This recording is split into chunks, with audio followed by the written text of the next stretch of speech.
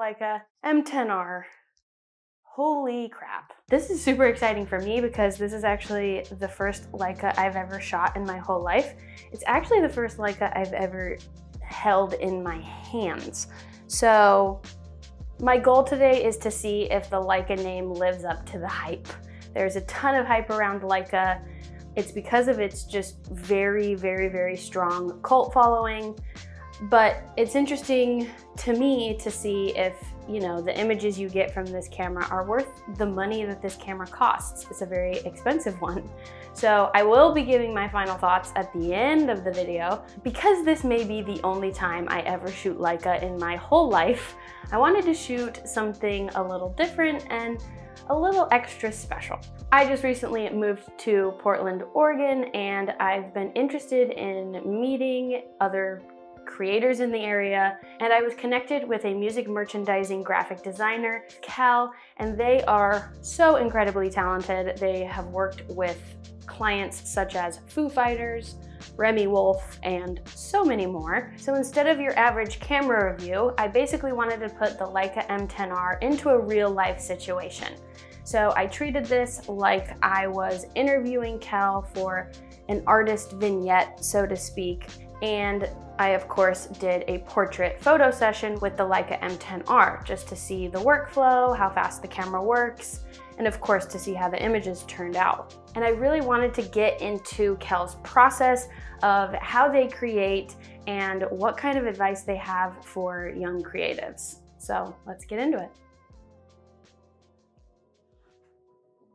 So I grew up as an artist and my mom is like an environmental planner and my dad is in construction. So, you know, they both kind of like studied very like sciencey practical stuff. My older sister is an aerospace engineer. And so having an older sister who's a, rocket scientist, kind of like, you know, you kind of grow up in like the shadow of like, oh, yeah, my sister launches things into space. Cool. Um, and I was always really artsy, like as a kid. And um, not that my parents didn't encourage it, but it was kind of like, okay, art's cool, but you know, you got to study something in school that's like really practical and you can like make money off of. And so I wanted to be a veterinarian like my whole life, all through high school. And my senior year of high school, my art teacher, who I had all through high school, sat me down and was like, I think you're making a mistake because um, I wanted, like, I applied to like all these schools and didn't get into nearly as many as like I had wanted to. As much as I love animals, I'm not veterinarian material. And so I convinced my parents to let me go to FIDM, and I originally majored in fashion design. I ended up changing my major after a quarter and I switched it to graphic design because I had a roommate who was in graphic design. And I was like, that looks like so much fun. I'd much rather be doing that than like constructing bodices, like so boring. so then I studied graphic design and it was like one of the best decisions I ever made because it felt very natural to like just what I wanted and you know it, I fell into designing merch after years of like bouncing around between different design agencies. I worked in-house at like some companies doing like just design in-house or I was doing like content creation for a while just to like kind of figure it out and just mostly just to like keep paying my bills. And then I ended up getting a job at Live Nation, which like complete 180 in my career, and it kind of landed me in merchandise design now. So that's how I got here. okay, let's do a uh, hmm. What else? I like the chair. Let's do one more pose with the chair. Um, yep, yep. Let's straighten it up. She's on a bit of an angle. Perfect. I almost want, yeah, I almost want like it hanging. It probably feels weird, but it looks pretty cool. Ooh, do that. Yeah. Yeah, that looks cool. That's great. Yeah, that's very fun.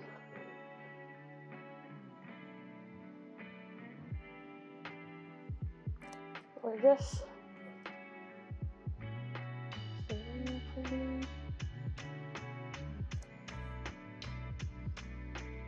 Right at me, one, two, three.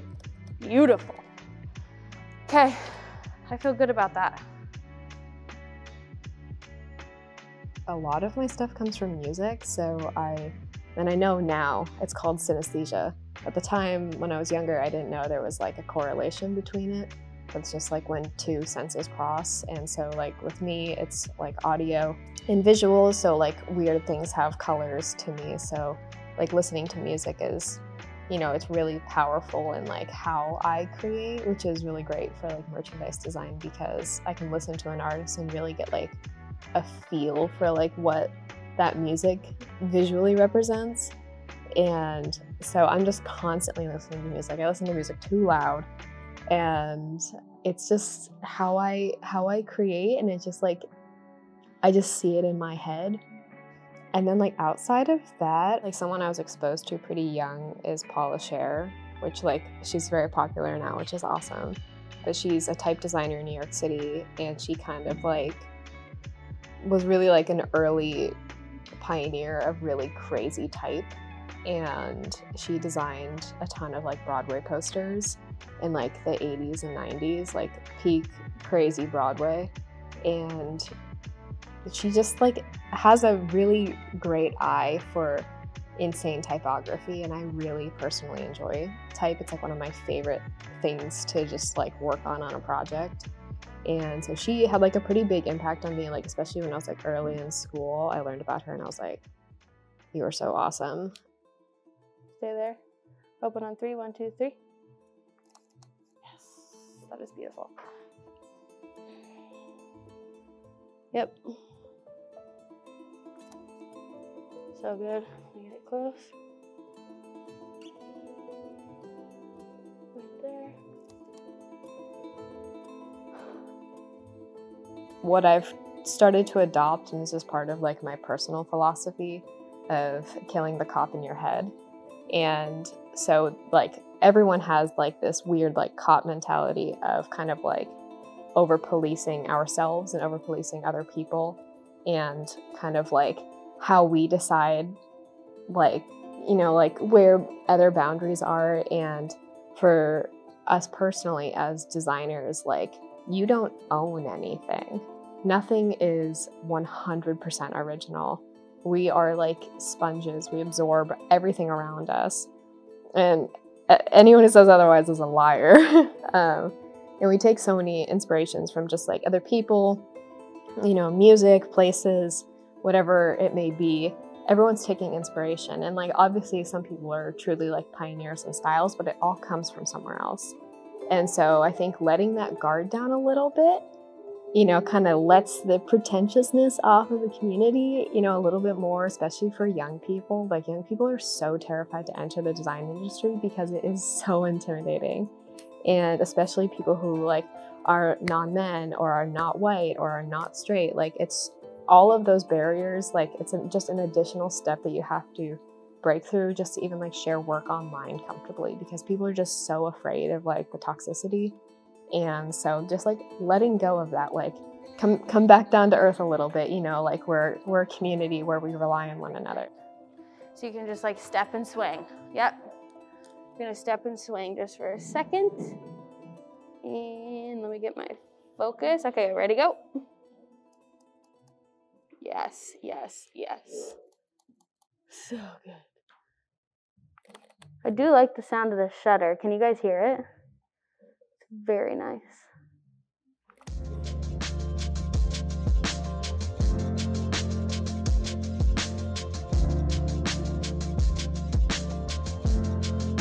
Oh, so good.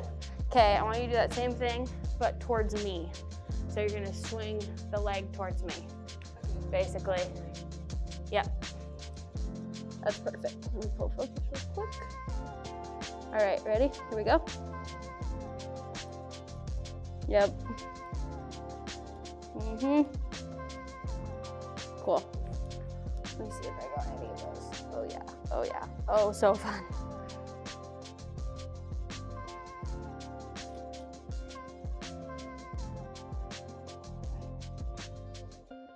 I think a part of social media that I don't enjoy is how we really compare ourselves to people online And that comes with like the career side too. Like we see people who like, and it's tough with me because I started very young in the industry, which is like one of my regrets is that I started working full time when I, had just turned 20 at an agency. And you there's a lot of like baptism by fire that happens when you're so young that like when you compare yourself to people who like started at different points in their life like people who started when they were in high school like i get people who dm me who are like 14 and worrying about what they're going to put in their college portfolio.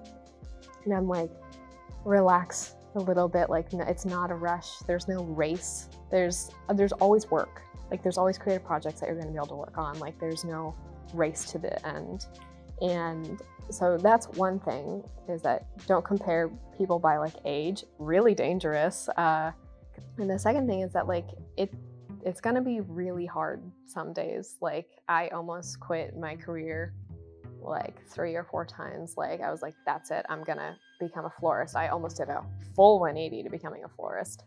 And it's you just have to keep going and you're not to always get to do work that you like and one day you might be able to get to do that work that you like, but it's gonna be really hard some days, but that's part of it. And you can make it through um, and try to find like people that you can like honestly talk to, like as a creative. Like it's hard to talk to your parents about like stuff like this versus like talking to like people who really understand the space and kind of, you know, be a bit of a mentor to you.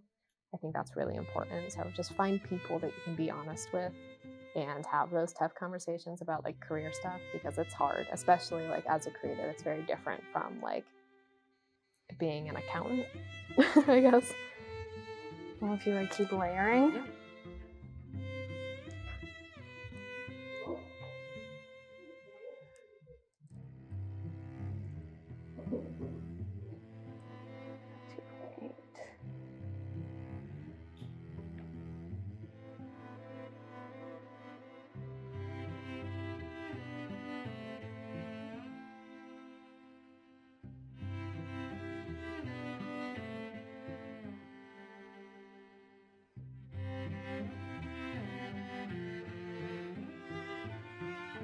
My name is Kel. I'm based here in Portland, Oregon, and I am a graphic designer who specializes in music merchandise.